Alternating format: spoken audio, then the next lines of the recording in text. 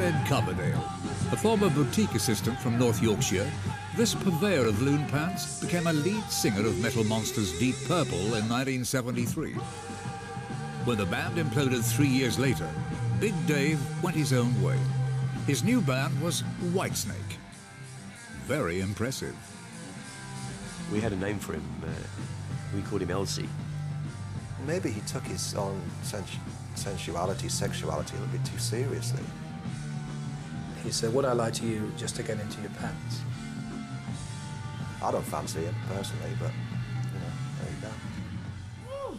There isn't a theme park between my legs that we call manland, you know. I've just have the same lust as everybody else, really. He'd achieved this accent, which I find utterly remarkable. It's, it's kind of Roger Moore of rock and roll. You know, it, it, it's... Um, he, the guy's from Redcar. Here's a tune, a modern love song.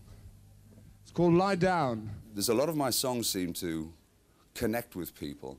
And I think predominantly the more uh, heartbreaking songs or from the more sadder times in my life or experiences, and particularly when I sing low or mid-range rather than the Tarzan impression.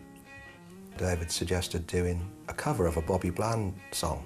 Bernie started playing it and David singing it, and um, oh, this is good. And I inserted a little riff, which really I'd got from a Beatles song called Come Together. Dun, dun, diddle, ding. At that time, Whitesnake was a great fun band. The characters involved were so diverse and so wonderfully crazy against each other. It just had to be a good time. Coverdale's Whitesnake, with former Purple bandmates Paice and Lord and guitarists Marsden and Moody, soon went international. There's a university town in Oklahoma called Norman.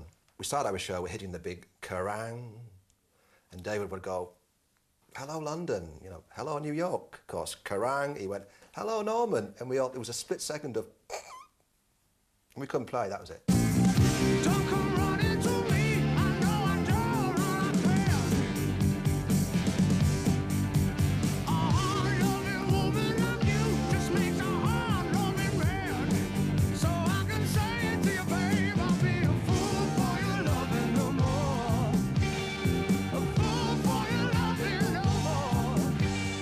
Fool for Your Loving is, is a classic three-way song. You know, it was a bit of a song I had, a bit of a song that Micky had, and the words from David.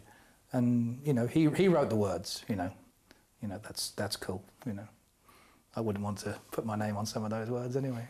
I don't mind provocative lyrics if they're a little bit subtle, but I think later on it was a little bit too crass, you know. Some of the titles, I, I mean, slide it in. Come on. Hey, I never said I was Billy Shakespeare, mate. Our audience was, I guess, 97% male. And David was doing this, come on, you know, this kind of, do you think I'm sexy kind of thing, uh, to the front row, which is almost all young guys going. A writer from Sounds did describe Whitesnake's set as sounding like a loud chunder on the horizon.